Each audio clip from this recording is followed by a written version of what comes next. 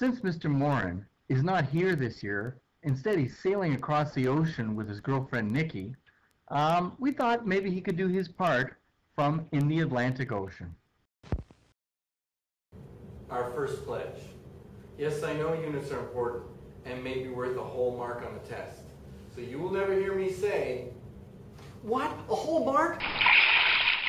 That's so unfair! It should only be a half mark.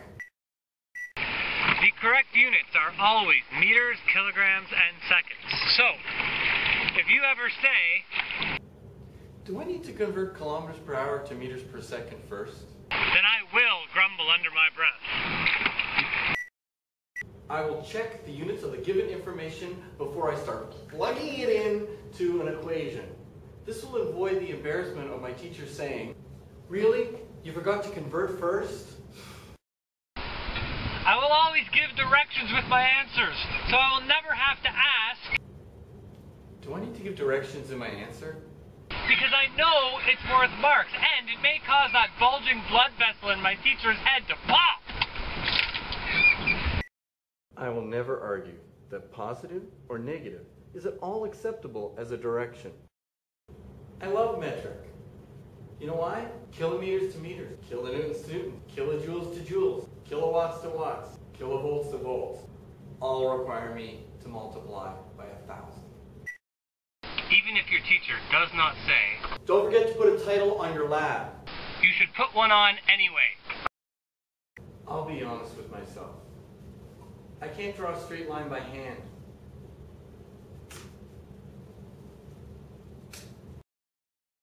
And while we're on the topic of graphs, label your axes and include the units. Stop, I gotta do that again. I didn't even know the second part. The answers to the problems in the text are actually in the text somewhere.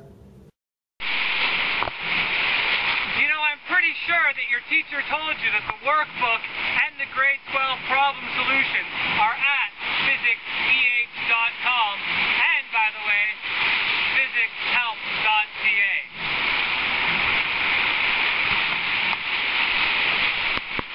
My physics teacher is a really nice person who's willing to give me a break whenever possible, as long as I let my physics teacher know in advance that I may be away. Should I not tell them in advance, I will act like I'm embarrassed when they remind me that I made a pledge not to do this. Well, that brings us to the end of our physics pledge. We hope you found it useful. And we really want to thank you for all the uh, emails you've been sending us. Uh, unfortunately, as I said in the other video, we can't really reply to all of them, but we really do appreciate hearing from you and how helpful you find our videos. So good luck in your physics course.